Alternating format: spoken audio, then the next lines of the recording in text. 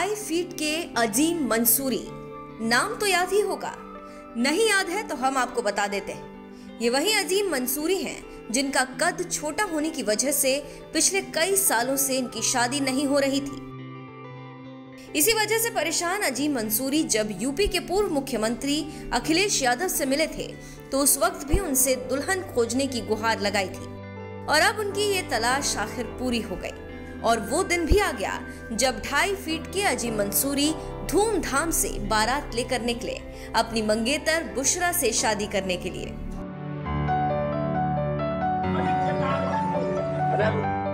UP के शामली ज़िले के लिटिल स्टार अजीम मंसूरी की शादी की मुराद आखिरकार अब जाकर पूरी हो ही गई। बुधवार को ढाई फीट के अजीम मंसूरी दूल्हा बनकर अपनी बारात लेकर हापुड़ के लिए रवाना हुए। सिर पर सहरा बाँध और शेरवानी पहनकर अजीम मंसूरी अपनी मंगेतर, हापुड़ ज़िले की बुशरा से निकाह के लिए बड़े ही धूमधाम से अपनी बारात लेकर निकले। वैसे तो शादी की तारीख 7 नवंबर को तय थी, लेकिन भीड़ की वजह से शादी में कोई व्यवधान न हो, इसलिए आज यानी बुधवार को ही अजीम मंसूरी निकाह के लिए बारात लेकर निकल गए। मोहम्मद आजिम मंसूरी। मेरा नाम मोहम्मद आजिम मंसूरी। कहलाने से आया अबूड में अपनी वाइफ को ले लेना।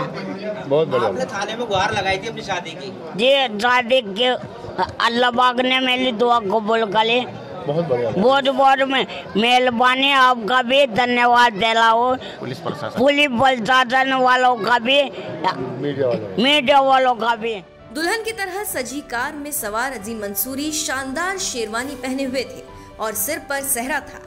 ये सहरा उन्हें कितना सुकून भरा एहसास दे रहा होगा, ये अजीम मंसूरी ही जानते होंगे, जिन्हें अपने लिए एक दुल्हन खोजने के लिए न जाने कितने पापड़ बेलने पड़े।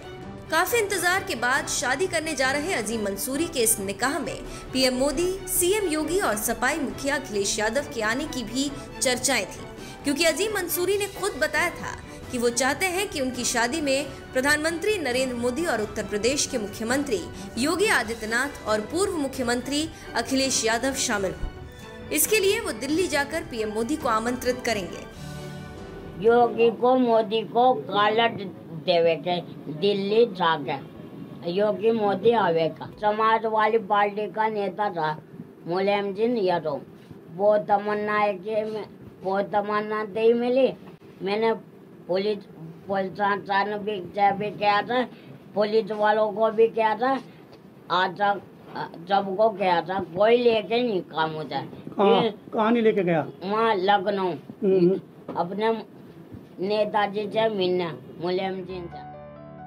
अजीम मंसूरी ने अपनी शादी में वैसे तो कई हाई प्रोफ़ाइल हस्तियों को बुलाने की बात की थी लेकिन समय से पहले हुई शादी में कोई नेता नहीं आ सका।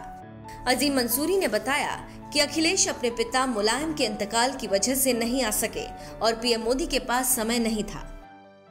उनको डैम नानी मंडली को उन अगले यादव को उनके उनके पिता का इंतकाल हुआ डेड बोली अगले को डैम नानी ने आधा अगले यादव मिले भी हमें ज़रूर बक्का अग, अगले की वजह मुलायम जिन की वजह से आया ही नहीं वो। शादी का सपना साकार होने जा रहा है तो अजीम मंसूरी इस बात को लेकर जहाँ बेहद खुश नज़र आए तो वहीं उनके दादा भी अपने पोते की बारात में शामिल होकर बेहद उत्साहित नज़र आए। क्या कहना चाहते हो? मैं बहुत खुश हूँ जी इससे। मेरे सामने करवा दिया अल्लाह ताला का लाख लाख शुक्र है। मेरी भी तमन्ना यही थी कि भाई मेरी ज़िंदगी में हो जा। अच्छा बारात जाए कहाँ जा रही है इसकी?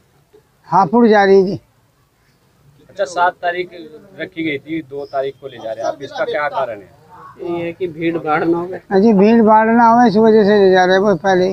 अच्छा कितने आदमी शामिल है बारात में? बीसक आदमी होंगे जी बस अजीम मंसूरी अपनी शादी को लेकर पिछले कई सालों से सोशल मीडिया पर छाए हुए हैं। जब ये बात हापुड़ की रहने वाली बुशरा को पता चली तो उन्होंने उनसे निकाह की इच्छा जताई। दोनों की सगाई साल 2021 के अप्रैल में ही हो गई थी। लेकिन बुशरा कॉमर्स से ग्रेजुएशन कर रही थी। इसीलिए उन्होंने एक साल बाद शादी करने की बात कही। और अब जाकर वो दिन भी आ गया, जब अजीम मंसूरी का उनकी मंगेतर बुशरा से निकाह हो ही गया। आपको बता दें, अजीम मंसूरी एक कॉस्मेटिक की दुकान चलाते हैं और उसी से अपना खर्चा निकालते हैं। वो कैराना में रहने वाले एक परिवार में छह भाई बहनों में सबसे छोटे हैं। बहरहाल थाने से लेकर अखिलेश यादव तक से शादी के लिए दुल्हन खोजने की गुहार लगा चुके अजीम मंसूरी के निकाह पर आपका क्या कहना है? अपनी राय हमें कमेंट कर ज़रूर बताएँ।